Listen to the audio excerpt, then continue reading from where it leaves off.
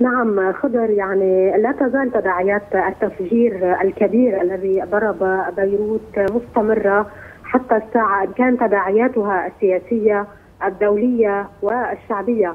يعني بالأمس منذ ساعات المساء الأولى وحتى الساعة العاشرة مساء تقريبا استمرت المواجهات بين المتظاهرين اللبنانيين الغاضبين وقوى الأمن في محيط المجلس النيابي وكان هناك محاولات متكررة من هؤلاء المتظاهرين للدخول إلى ساحة النجم وإلى يعني محيط المجلس النيابي وقد تصدت لهم القوى الأمنية بقنابل المسيلة للدموع وبالرصاص المطاطي.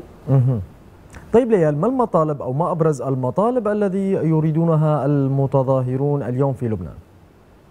نعم يعني المتظاهرون اللبنانيون اليوم يقولون إن ما كان مقبولا قبل الرابع من آب لم يعد مقبولا بعد الرابع من آب. يعني خرج اللبنانيون بعشرات الآلاف في ثورة السابع عشر من تشرين الأول. كانوا يطالبون بتغيير السلطة السياسية بإجراء انتخابات جديدة بتغيير قانون الانتخاب. ولكن اليوم جميع المتظاهرين الذين نقابلهم في الشارع يطالبون بمحاسبة هؤلاء كل المسؤولين عن تفجير بيروت وكل الذين علموا بالمواد المتفجرة ولم يحركوا ساكنا.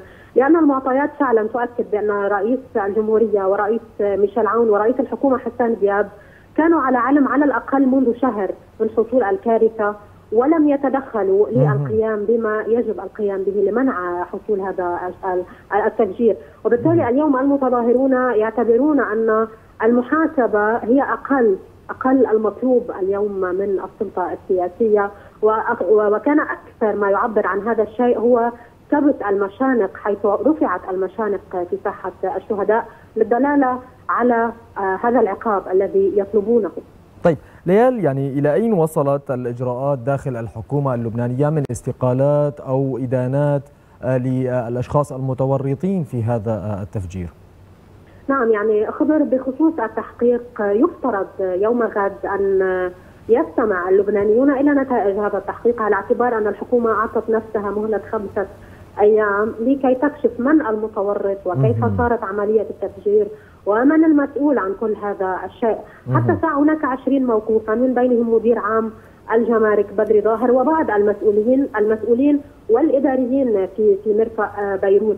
ولكن بخصوص الاستقالات من الحكومة حتى الساعة وفق المعطيات هناك وزيرين هما دميانوس قصار وزير البيئة ووزيرة الإعلام منال عبد الصمد.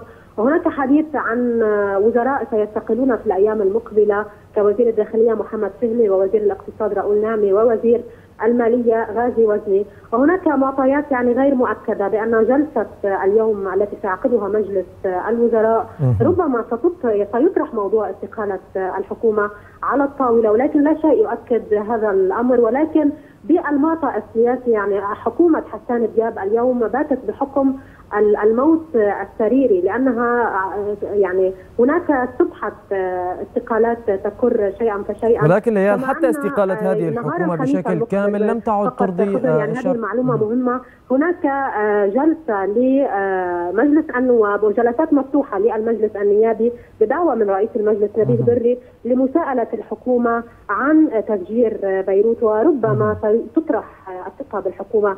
خلال هذه الجلسات ليال حتى حتى استقالة الحكومة بشكل كامل وعلى رأسها رئيس الحكومة حسان دياب لم تعد ترضي المتظاهرين اليوم في الشارع أليس كذلك؟ نعم خضر بطبيعة الحال يعني المتظاهرون يطالبون باستقالة من رأس الهرم حتى الأسفل وأيضا يطالبون بأن لا تعود هذه القوى السياسية إلى الحكم من جديد طيب. يعني حتى لو جرى انتخابات نيابية مبكرة السؤال على أساس أي قانون سيتم اجراء هذه الانتخابات؟ هل نعم. على أساس القانون الماضي الذي جاء بهذه السلطة وبهذه القوى السياسية؟ فعلا الشارع اللبناني غاضب والمساعي الدولية يعني التي يقودها اليوم رئيس الفرنسي إيمانويل ماكرون ربما ربما آه تتوازى مع مطالب الشعب عندما جاء ماكرون وقال يجب التأسيس لعقد سياسي واجتماعي جديد في في لبنان. وبالتالي اليوم اللبنانيون ينتظرون تغييرا جذريا في السلطة السياسية. نعم ليال وضحت الفكرة. أنا أشكرك جزيل الشكر على كل هذه التفاصيل. كنت معنا مباشرة من بيروت.